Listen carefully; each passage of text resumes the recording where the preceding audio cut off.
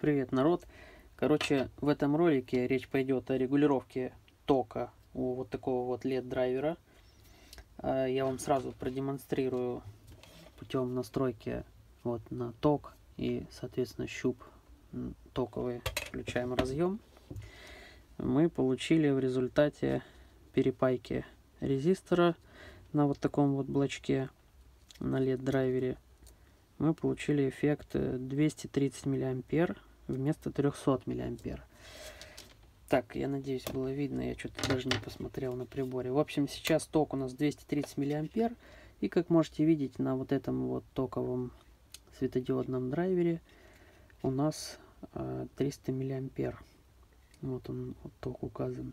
Ток у нас постоянный, а напряжение у нас изменяется в зависимости от количества последовательно соединенных светодиодов. Э, ну, расскажу сразу историю. Это, как вы поняли, наверное, многие, это лампа, лупа, э, собственно, подсветка от этой лампы. Вот так это выглядело в заводском виде. Вот эта микросхема сгорела, и, соответственно, тут повздувались конденсаторы. Ну, так как микросхему я такую не нашел, отремонтировать старый этот э, LED-драйвер, я решил приобрести на AliExpress вот такой вот Значит, э, ну, как мы видим, напряжение совпадает, а ток немного выше. Здесь было 230 миллиампер. Ну и, собственно, что было сделано? Для того, чтобы отрегулировать этот ток, так, что-то у нас тут остался конденсатор заряженный. Кстати, не забывайте вот то, что конденсатор заряженный, вот этот вот остается, если вы его не разрядили, который на 400 вольт. Где он там? Вот он, 22 микрофарада, 400 вольт. Так я посмотрел, вроде бы качественный такой нормальный драйвер. Микросхема здесь стоит. Так, как показать-то? КП. Я прочитаю, в общем. КП 1194. П. ДП в конце. В общем, есть даташит на эту микросхемку. И Соответственно, я там увидел, что вот этот вывод, который вот через один, то есть здесь 7 выводов у микросхемы, микросхемы Deep Corpus. И вот этот вывод, он обозначен в даташиде как CS. Из английского это current set, ну типа установка тока. И устанавливаются эти токи с помощью вот таких вот резисторов. Надеюсь, будет видно. Вот здесь стоит в параллель резистор, по-моему, на 1 Ом, и этот на сколько-то там Ом. В общем, в параллель они дают что-то там 0,9 0,9 с э, учетом э, там какого-то еще погрешности на щупах. Ну, пусть там 0,8, 0,9 Ома.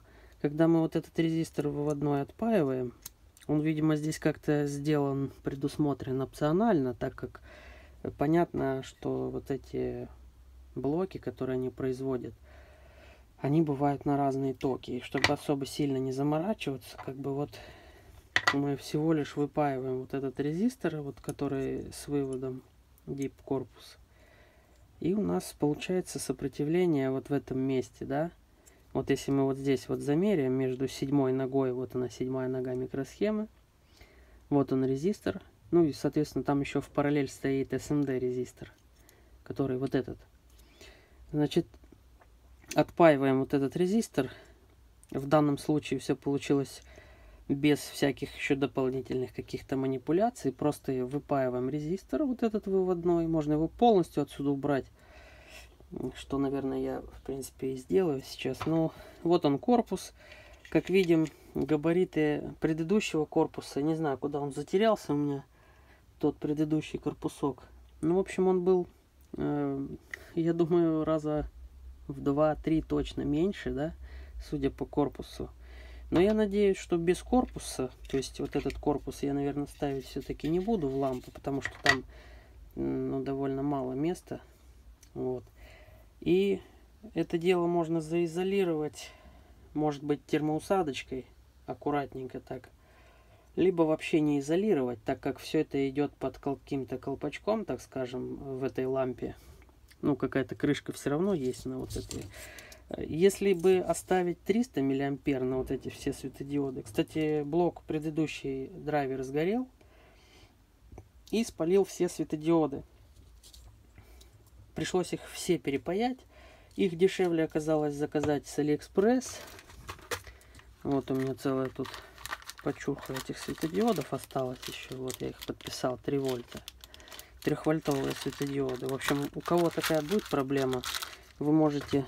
Ну, тут, конечно, не так уж и просто их выпаивать. Я их напаивал на станции, ну, феном выпаивал. Немного погрел радиатор, соответственно. Ну, в общем-то, сейчас стоят новые светодиоды и светодиодный драйвер отрегулирован на 230 миллиампер, как и должно было быть. Я думаю, что это все прослужит ровным счетом очень долго. Поэтому вот на этом, я думаю, вся информация, которую я вам хотел выдать. Если слишком длинно, извиняйте, но, в общем, сделал как, как мог. Всем спасибо за внимание. Подписывайтесь на канал, ставьте пальцы, потому что эти, вот эти пальцы, они оказывается нужны сильно, потому как никто эти ролики не видит, если они не залайканы нормально. В общем, всех с наступающим, всех благ и увидимся в следующих роликах.